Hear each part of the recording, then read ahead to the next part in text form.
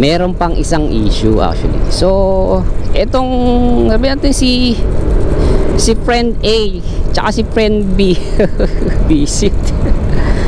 Si friend A marami siyang nalalaman sa ibang tao.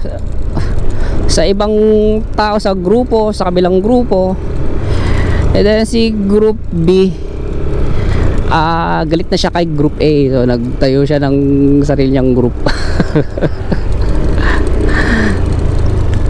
So ako, hati yung ano, opinion ko. Actually, na-meet ko sila. Pareha silang mabait.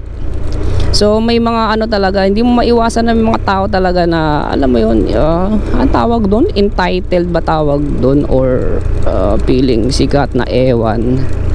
Alam mo, kung tropa kayo, dapat suportahan na lang kayo. So, totoo lang, sinusuportahan ko yung dalawang friend niyan, si friend A at si friend B.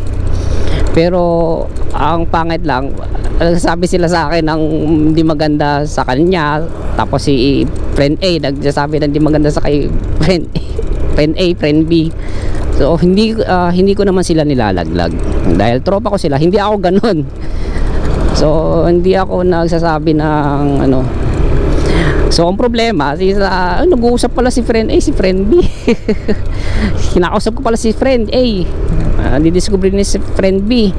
So magkakaroon na tuloy ng uh, tawag dito parang duda. Baka nagkikwento na ako ng kinikwento ni friend A kay friend B mga kinikwento, pinagkikwento namin. So nangyari, ang siste, galit na si friend B sa akin tropa kasi lang dalawa pero never ako nagkwento ng mga masasamang ugali nyo sa, sa isa't isa. So hindi ako naglalaglag na ng ano ng ng tropa. Wag mo lang talaga i-compare yung ano sarili mo sa iba na tipong ay mas magaling kami doon ayoko nung ganun. Promise iiwasan ko talaga yung taong yun at makakatingin talaga sa akin ng di magandang salita.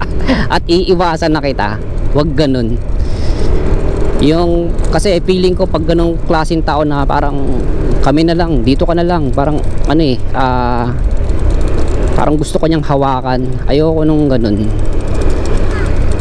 Iiwas ako sa ganun tao yung parang hinahawakan ka na dapat dito ka na lang. Wag ka na dun iwasan ko yun promise. Hindi ko tinotropa yung ganun.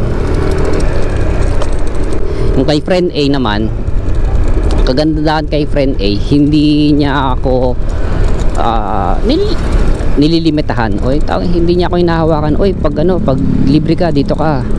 Gusto ko yun. Yun ang gusto kong tropa. Pag free ka dito ka. Ayoko ng tropa na dapat dito ka na lang eh. Kasi dito ganyan. Tapos i-compare mo pa yung sarili mo sa kabila. Ayoko nun. Ayoko talaga promise. Mahalaga sa akin ang oras. Pwede ako mag-aksaya ng pero pera. Pwede ako mag-aksaya ng pera pero ayoko na hinahawakan ng oras ko at i-compare ang sarili mo sa ibang tropa ko. Wag ganun. Ayoko nung ganun tao. Makakatingin ka talaga ng di magandang salita